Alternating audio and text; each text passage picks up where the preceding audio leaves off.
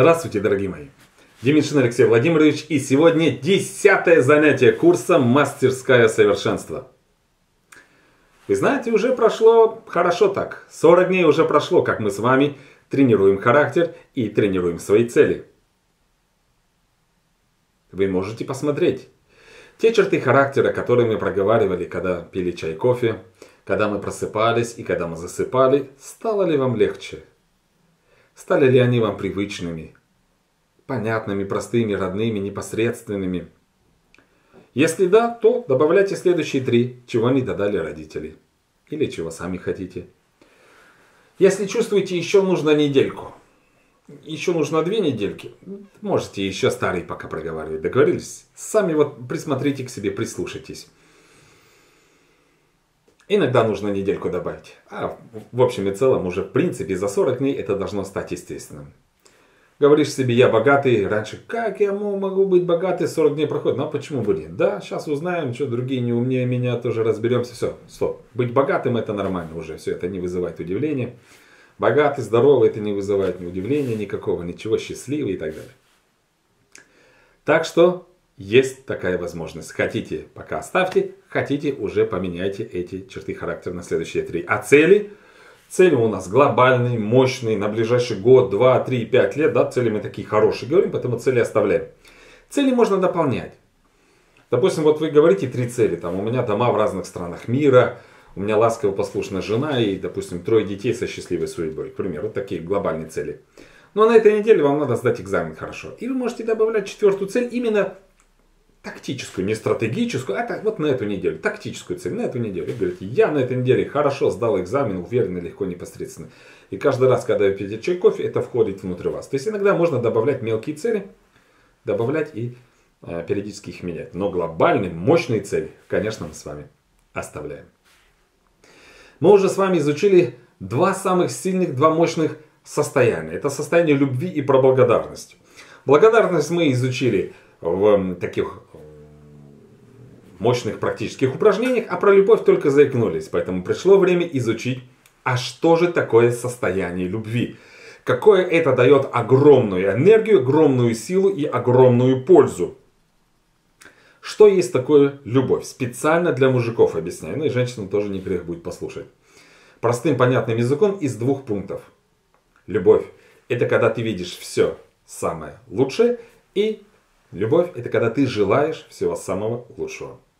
Мать любит сына, и она видит его умненьким, талантливым. Учительница говорит, да ваш сын вообще по математике э, двоечник. Нет, это вы глупая учительница, у меня сын умный, вон у него где-то там в глубине глаз есть э, какой-то интеллект. Когда мы любим, как говорится, любовь зла и полюбишь козла. Когда мы любим, нам кажется, да нет, это северный олень, это не козел, проходит 10 лет, и вправду, вправду, да, козел. Но когда любишь, не видишь. Вот, вот самый лучший. Поэтому, если мы любим себя, то мы видим свои хорошие черты характера. Если себя не любим, то видим в себе недостатки. Также и в жизни. Если мы любим жизнь, мы видим в жизни в 100 тысяч раз хорошего больше, чем каких-то там где-то окурков, где-то грязь, где-то несправедливость. Итак, любовь это когда мы видим все самое лучшее, и любовь это когда мы желаем всего самого лучшего. Да? Когда мы любим, мы желаем тебе богатства, успеха, радости, счастья и так далее. И если вы входите в состояние любви, у вас нет усталости. Если вы входите в состояние любви, у вас нет слабости. Если вы входите в состояние любви, у вас нет никаких ограничений. Любовь.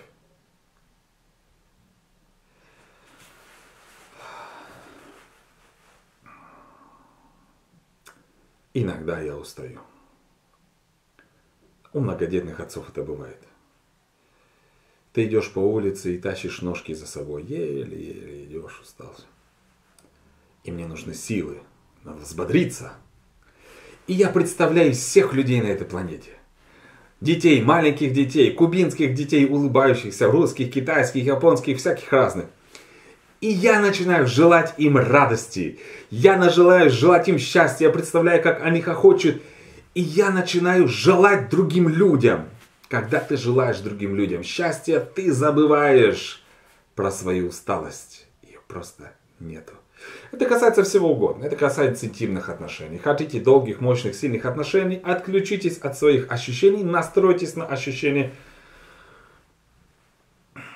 как это по-русски там назвать, своей жены, там, своего партнера, да, как бы, что она чувствует. И ты забываешь, ты забываешь, что ты целый день там работал, угол грузил, еще что-то, еще что-то, еще что-то. И тот, кто был стайер, бег на короткие дистанции, спринтер, да, или как он там называется. Кто бегал на короткие дистанции, тот начинает быть марафонцем, марафонцем в интимных отношениях. Когда мы желаем другим, так уж устроен мир. Почему, я не знаю. Все вопросы к Создателю. Иисус Христос висел на кресте не ради себя, а ради людей. Когда ты делаешь ради других, у тебя энергии оказывается в сотни раз больше, больше, больше. Почему говорят, святость это служение? Если настоящий офицер, настоящий, вот он служит своей родине, у него сверхэнергия. Александр Васильевич Суворов, ему вот это свои все вот эти манатки награды, он кушал гречневую кашу и спал на доске. Не ради себя делал, понимаете? Ради идеи, ради государства, ради чего угодно. Святость это служение. Если мужчина служит своей семье, он сильный, служит идее, он сильный, служит каким-то принципам, родине, закону. Он сильный, если жена служит своим детям, своему мужу. Не просто, э, где мои колготки, где мои то все, почему у меня парфюмерия не такая дорогая. Ее будут мучить плохое настроение. Ее будет мучить, дорогие мои, жалость к себе, настроение такое. Когда человек входит в состояние любви, он очень сильный, счастливый, его настроение потрясающее, его сила огромная. Пришло время проверить на практике. И задание на эту неделю в любое свободное время желайте своим близким радости, счастья, богатства, успеха, своей жене, своему мужу, своим детям, своим родителям. Как это делается? Давайте сделаем прямо сейчас. Расправьте плечи. Ярко зажгите улыбку. Представьте бескрайнее голубое небо. Дорогие мои, настройтесь на природу, потому что природа это красота. Природа настраивает нас на самое лучшее красивую природу. Почему я вот всегда стараюсь, чтобы сзади была какая-нибудь красивая картина? Вам, чтобы легче было, дорогие. Бескрайние зеленые поля, представьте. Яркое солнце, голубое небо. Представили? А теперь своих близких, своих родных. Детей, мужа, жену, родителей. Их представьте, братьев, сестер. Пускай они тоже, так же, как вы, расправят руки вдыхать полной грудью чистый воздух и голубое небо, и яркое солнце. И шум травы, и пение птиц, и стрекот кузнечиков. Настройтесь на красоту. И улыбка сама появится на вашем лице. Не надо бороться с грустью. Желайте другим радости, и вам будет легко улыбаться. Вы-то сильны, а теперь желайте силы другим. Вы-то счастливы, и начните желать. От всей души, от всего сердца мысленно проговаривайте. Я желаю вам радоваться. И представьте, как они радуются. Я желаю вам быть счастливыми. И возьмите это голубое небо. И наполните их небом. Энергией неба. Не своей энергией. Божественной энергией наполните. Представьте, как они подпрыгивают, смеются, на носочках летают, улыбаются, у них румянец на лице, и они хохочут. И говорите, я желаю вам счастья, желаю вам счастья, желаю вам радоваться, желаю вам наслаждаться жизнью, желаю вам быть сильными, здоровыми, румяными, желайте прямо сейчас. Желайте, представляйте, наполняйте цветом неба, белым светом, позитивной энергетикой своих близких. Наполняйте, а теперь проверьте, какая у вас осанка. Какая у вас улыбка, какая сила у вас появляется. Желая другим, запомните, вы получаете в 10 раз больше. Желая другим богатства, вы становитесь богатыми. Желая другим мудрости, вы становитесь мудрыми. Желая другим счастья, Желая другим силы.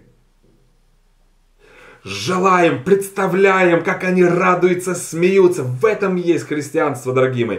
В этом и есть ислам, в этом и есть иудаизм, буддизм и все остальное. Желайте другим всего самого лучшего, радости, счастья, богатства, силы, уверенности. Пожелайте им самый лучший характер, мудрости. И вот вы идете по улице и делаете это.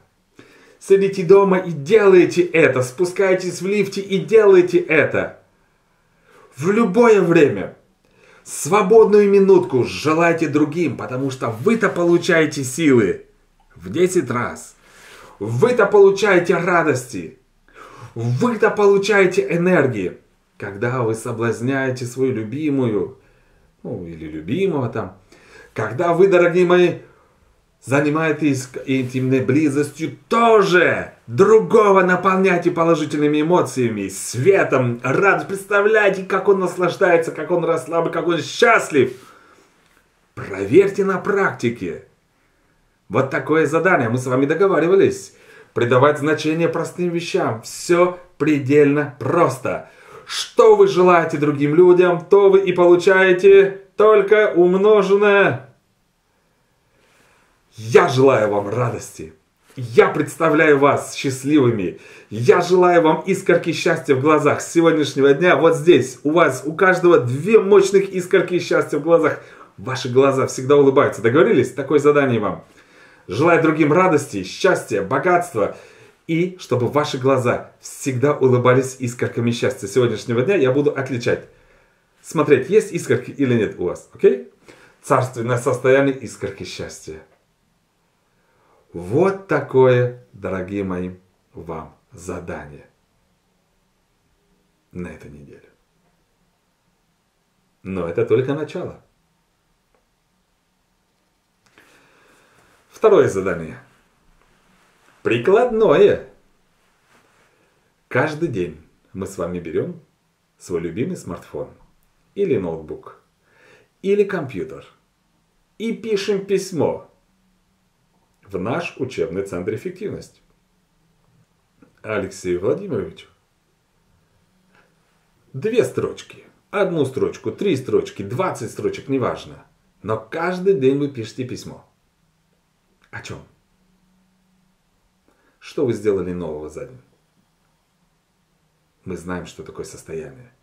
Сегодня мы начинаем с вами практиковать состояние любви. А до этого вы практиковали состояние благодарности, силы. Сегодня мы дополнительно входим в состояние обновления. Если ты каждый день делаешь что-то новое, это умножается в 10 раз, и твоя жизнь начинает меняться. Окей? Вы что-то новое узнали посмотрели на ютубе, что-то новое узнали, что-то изучили из истории, из чего-то из психологии, неважно. Вы пошли домой новой дорогой. Вы купили себе новую рубашку, неважно что, но за неделю уже наберется много. Если жизнь стоит на месте, рутина, ежедневные проблемы, заботы, все одно и то же, консерватизм, вы не входите в состояние обновления, жизнь не меняется. Для того, чтобы вы были богатыми, для того, чтобы у вас был муж, жена, здоровые, счастливые дети и так далее – Крайне важна привычка. Привычка, доведенная до автоматизма. Вы уже догадались. Каждый день хоть что-нибудь, но делать новое. Хоть чуть-чуть, но что-то делать новое. Тогда ты психологически открыт к изменениям, и тогда уже большие изменения в своей жизни можно воспринимать без шока, можно воспринимать без стресса. И тот, кто 40 лет был холостяком, женится – и не удивляются, ой, что-то сердце аж выпрыгивает, а не спрыгнут ли мне с окошка. Та женщина, которая 20 лет не была замужем, она привыкла, что в жизни что-то меняется. Сначала в пустяках, а потом по-крупному. И она, когда ей делают, приглашают, и она говорит, да, я согласна. Чтобы подготовить к себя к большим изменениям, мы делаем что-то новенькое каждый день. И пишем. Это очень сильно дисциплинирует. Пишем что нового вы сделали в семейных отношениях, в бизнесе, по работе, в самореализации, в дружбе, в занятии своим здоровьем, в отдыхе. А вы помните, что каждое воскресенье мы с железным с вами правилом бездельничаем. Абсолютная дисциплина, мы отдыхаем. Ну, у кого воскресенье, у кого суббота, кто хочет. Что нового вы сделали? А я вижу почту. И я вижу, каким людям помогать в этой жизни. И я вижу, кто старается. Кому трудно, но он старается. Кому непривычно, но он старается. И я вижу, это сильный человек, потому что сильный человек сильный в своих целях, а не в своих мышцах. Мечта дает силы человеку. Итак, дорогие мои, я не буду отвечать на эти письма, потому что ну, все ответы будут здорово, здорово, ты супер, классно. Если есть вопросы, буду отвечать. Дорогие мои, но я их читаю, смотрю и запоминаю. Кто у нас отличник? Кому мы помогаем? Окей? А мы договаривались с вами, что этот курс необычный. Мы с вами договаривались, чтобы вы гордились своими результатами. Поэтому каждый день. Сегодня я сделала то-то и то-то. Сегодня я купила себе новую яркую светлую одежду. Сегодня я пошла новой дорогой. Сегодня я сходила в театр, пять лет не ходила. Сегодня я прочитала новую статью или новую книгу. Что-то новое. Угу. Ну и приводите себя в физическую форму. Потому что очень скоро, если мы что-то забываем делать, у нас будет абсолютная дисциплина отжиматься, а милым женщин приседать. Подготовьте-ка свои мышцы к запоминанию. Встречаемся с вами ровно через неделю. Я вас очень сильно люблю. Я желаю вам радости, я желаю вам счастья. И вы всем на этой неделе, своим близким, родным, всем детям на земле, тоже желаете радости, тоже желаете счастья. Представляете, как они смеются. Изучите на практике состояние любви. Что же такое любовь? С Богом!